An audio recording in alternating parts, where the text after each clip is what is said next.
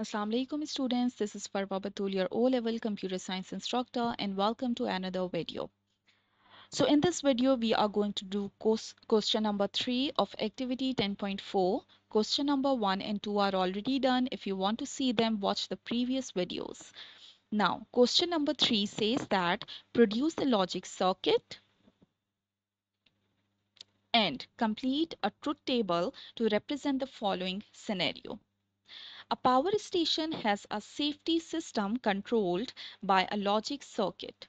Three inputs to the logic circuit. There are three inputs.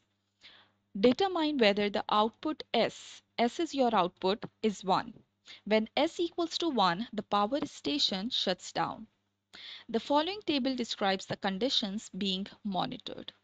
So look at this table. In this table, there are three input parameters that you are going to monitor for this uh, power station. So the first one is G, which represent gas temperature. And it must have only two values. Either G is going to be 0 or 1. Next is R, which is reactor pressure R can also have only two values, either 0 or 1. And W, which is water temperature, is also going to have 0 or 1. We have to monitor all of these three input parameter values because all of these values are going to determine a certain condition. So look at this. If value of G is 0, it means that gas temperature is less than equals to 160. If it is 1, it means gas temperature is greater than 160. For R, the reactor pressure, if it is 0, it means the reactor pressure is less than equals to 10 bar. And then if it is 1, then reactor pressure is greater than 10. For W, if the value of W is 0, it means water pressure is less than equals to 120. And if it is 1, it means the water temperature is greater than 120. So keep in mind that all of these parameter values are representing a certain condition that we have to monitor. Now look at this. Output S will generate a value 1 if there are three conditions that you have to see if any one of these condition becomes 1 because look at this there is or between these three conditions. So if any one will be 1 if it is 0 1 it is 0 0 your s is going to be 1 and it means that the power station is going to shut down depending upon the value of s if it is 1 or in other case if it is 0 if the first one is 0 and the third one is 0 but the second condition is 1 then also the power station is going to shut down keeping in, in mind that there is or between these three conditions. Or the third one can be if these two are 0 and this will be 1 then again your power station will shut down. These are the clear things that we understand through this description. But in order to be detailed about this power station, what you have to do, you have to produce a logic expression first. The logic expression must be in its standard form so that we can easily make the logic circuit and the truth table out of it. So let's just quickly make the logic expression using these given conditions. So the first condition for output S equals to 1 is gas temperature greater than 160 degree centigrade along with and water temperature is less than equals to 120. Okay, before that I really want to tell you one important thing and what is that? If your input parameter, let's suppose, let's talk about g. If the value of g is 0, then in your logic expression, you are going, going to write it as not g. And if it is 1, you will write it g. Same goes for R. If the value of R is 0, in your logic expression, you will write not R, otherwise R. Same for W. If W is 0, it will be written as not W in the logic expression, otherwise it will be W for value 1. Now let's start with these conditions. The first thing says gas temperature is greater than 160, which means that this condition is true. Gas temperature greater than 160. This says that the value of G is 1. So let me just write down G here. G is not going to be written as not G because it has a value 1. Next is your AND operator. So write down AND as it is. The next condition attached to it is water temperature is less than equals to 120. So look at your water temperature. Less than equals to 120 means that it is 0. So we will be writing it as not W. We are done with the first two conditions. Put a bracket and then write down OR because these three conditions are having OR between them. So let's write down OR outside the bracket, the next condition. Next condition is gas temperature is less than equals to 160. Look at this. Gas temperature less than equals to 160 means that G is 0. And if G is 0, we will write it as not G. Then there is AND in your condition and the next one is reactor pressure is greater than 10. Okay, it means that in your table when the reactor pressure is greater than 10 it means that R has a value 1 so you will be writing R as it is in your logic expression. Now close the bracket the second condition is also done. Now there is OR. So we will write the OR outside. Now the third condition is water temperature is greater than 120. Look at this. If water temperature is greater than 120, it means that W has a value 1. So we will be writing W as it is. After W, there is AND. So write down AND. And the last thing is reactor pressure is greater than 10. If the reactor pressure is greater than 10, it means that R has a value 1.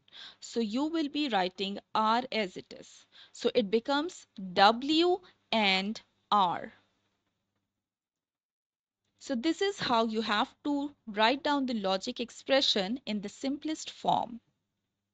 Okay, now let's move towards the logic circuit. Let me quickly produce the logic circuit of this logic expression. Remember, mm, remember that in order to produce the logic circuit, you have to make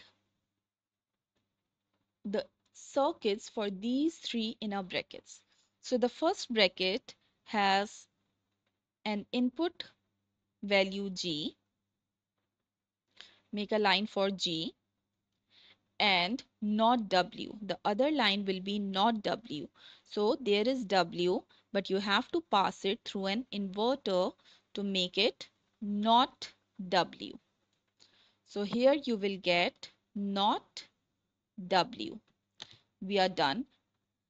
Now, both of these inputs are going to be passed through an AND gate.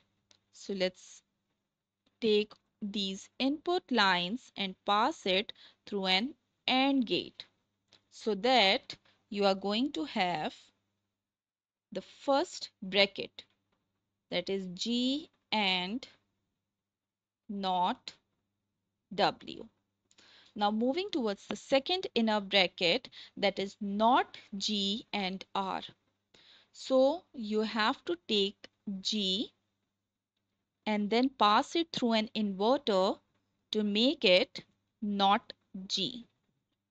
This is not G and not G is going with R, the input R. So let's write down R here.